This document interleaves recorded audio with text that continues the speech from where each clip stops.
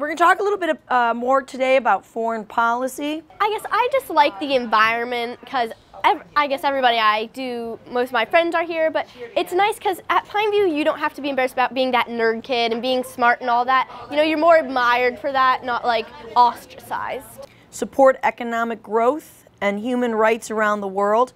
Pine View is an open book way of lesson planning. It's you kind of roll along with what your students are capable of learning and then you even want to kick it up another notch. Talked a little bit about these yesterday. I want to get into Stanford and study business and Pine View's gonna help me. Check this. So fast. You're like At Pine View, I guess it's more okay to be different, not that kid over there. It's nice to be smart and not have to be like, oh, I don't need to be too smart because she'll care or he'll care or whatever. Uh, let's ask this group over here.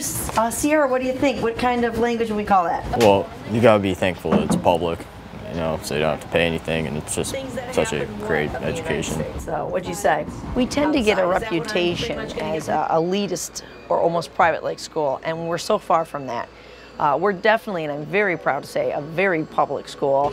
Uh, we allow, uh, allow, we, we want people from all diverse groups and from all different areas of Sarasota County uh, to come and apply and join in. And we're really looking to educate the future and kids that hopefully will solve problems that we're trying to solve today and, and make the world a better place. And as a teacher here, uh, I really take that into consideration when I come into my job every day. I mean, that's I sometimes I almost get goosebumps some days when I get students that I just know, oh my gosh, I can't wait. I just can't wait to see what you're going to do and create down the road in the future.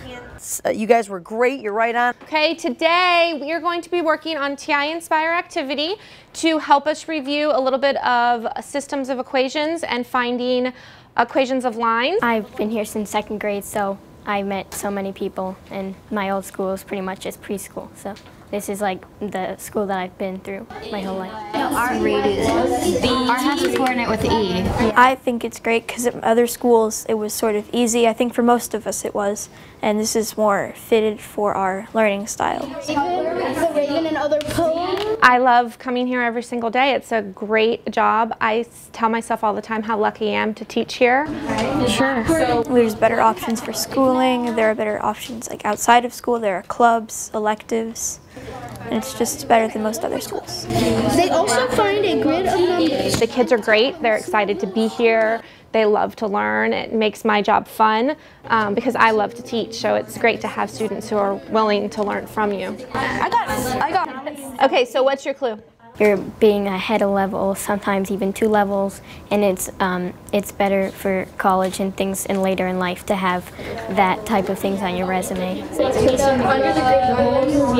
I think it's an advanced school for all classes, not just math, science, but social studies, language arts, optional classes other than this like tech, PE, and all that. It's just all around really good. Put and drag it across. I'm happy to be here every single day. Okay, guys, great job today. You guys did an awesome job figuring out the clues and finding the hidden treasure. Um, tomorrow we're going to look a little bit more at developing our own code and we are going to write some of our own secret messages to each other.